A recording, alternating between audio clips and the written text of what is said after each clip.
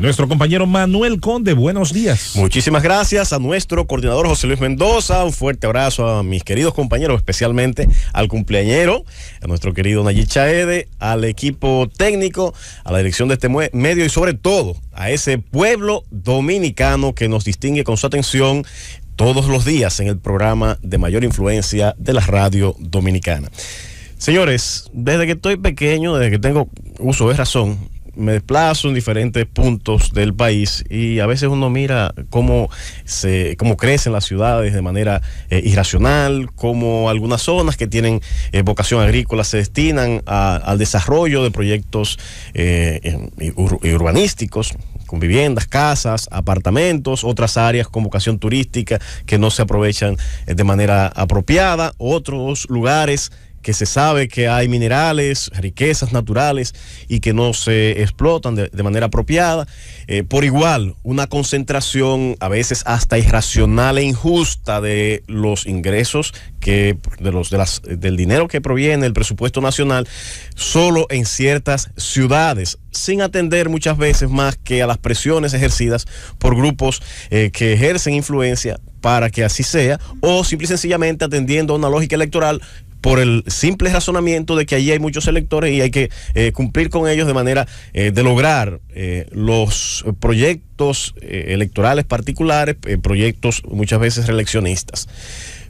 Por eso se ha pensado, y en los países más desarrollados, se tiene la idea de tener un plan un proyecto que ordene el territorio y que disponga de manera racional y científica para qué sirve cada eh, centímetro, cada kilómetro de la geografía nacional, cuál es su vocación, por igual hacia dónde debe crecer eh, un territorio, cuáles son los, los terrenos con vocación eh, agrícola, cuáles son los terrenos que servirían para, para urbanizar, por igual, mirar de manera científica la ciudad y hacer de esa ciudad un espacio habitable.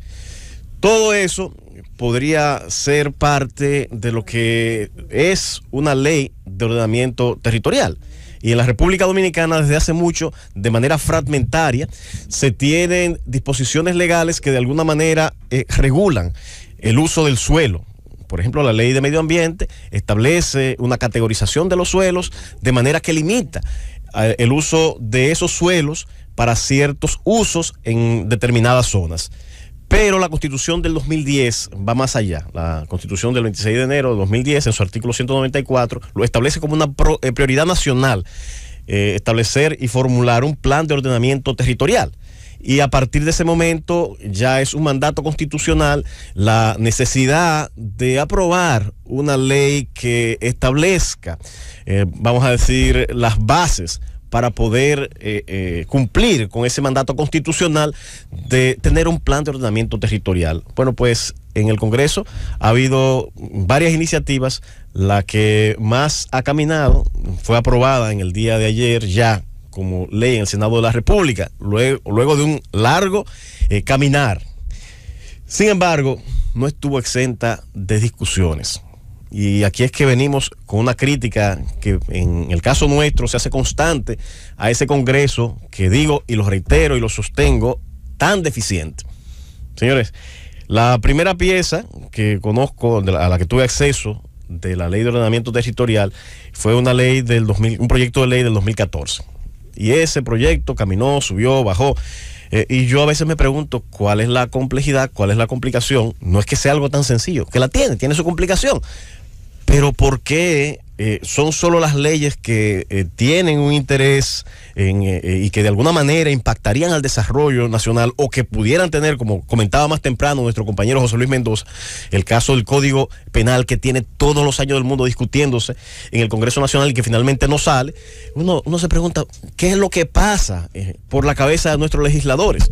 Cuando muchas veces aprueban y aprueban resoluciones eh, que no tienen ningún tipo de interés ni impacto para el desarrollo nacional, dejando de lado estos, estas, estos proyectos de ley que sí eh, impactan o podrían impactar al desarrollo nacional.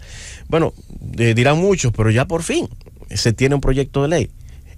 pero siguen con el mismo sentido aprobando leyes que son las leyes posibles no las leyes deseables ni las que se necesitan en, eh, en el plano presente para eh, que sirvan como instrumento de desarrollo. No son las leyes que, a las que aspiramos como sociedad. Y yo me pregunto entonces, ¿para qué eh, nos aprobamos estas leyes? ¿Para qué se da tanto espacio de reflexión si al fin de cuentas solo ese Congreso que tenemos se aboca a conocer leyes posibles? Nos, recordamos luego de esa ardua discusión de la ley de partidos políticos y la ley de régimen electoral, que el discurso es, ah, bueno, esta fue la ley posible, no la ley eh, que aspirábamos. Y bueno, los resultados están ahí. Eh, son leyes que yo le, las he bautizado como las leyes picadillos, porque el constitucional un tribunal que ha hecho una gran labor en la República Dominicana, cada vez que se le ha presentado una acción eh, directa, ha tenido que declarar muchísimos de sus artículos como inconstitucionales. Eso es lo que se tiene cuando se tiene esa ley posible.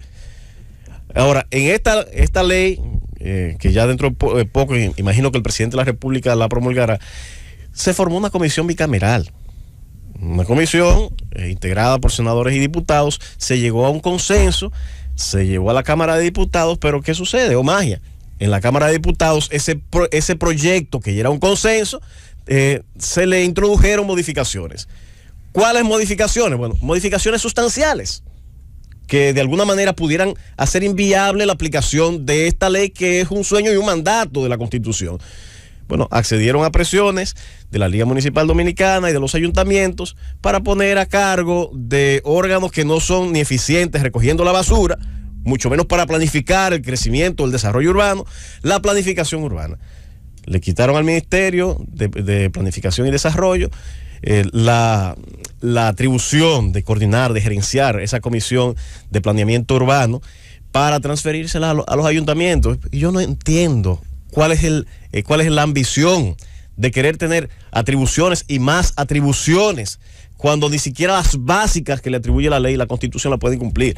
Señores, aquí los ayuntamientos están desbordados, están llenos de basura porque ni siquiera eso pueden eh, asumir, mucho eh, menos podrán asumir, mucho menos tienen tampoco la capacidad de técnica para hablar de planificación, de planeamiento urbano.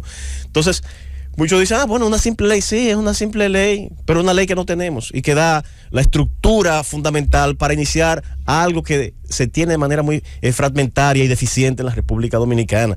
Tenemos ya que poner orden en nuestro país, tenemos que eh, hacer un estudio científico de nuestro territorio y esa eh, distribución eh, geográfica que aborda de forma científica esta ley de ordenamiento territorial, atendiendo a la similitud de las regiones, eh, de las subregiones, que de alguna manera tomen en consideración la naturaleza de, de los suelos, para permitir una planificación del desarrollo nacional, una planificación de la inversión de los recursos públicos de manera eficiente, de manera que, se pueda hacer compatible el uso de los recursos naturales, la preservación de los recursos naturales con eh, la habitabilidad, con eh, los seres humanos que ocupan los espacios públicos en las ciudades. Pero se hace fracasar tal vez con un aspecto que parece ser tan sutil y sencillo como es eh, el, quitarle la atribución al órgano que sí tiene la capacidad de planificación, que sí tiene los técnicos apropiados, eh, la, la, gerencia, vamos a decir, del el impulso de estos planes de ordenamiento territorial.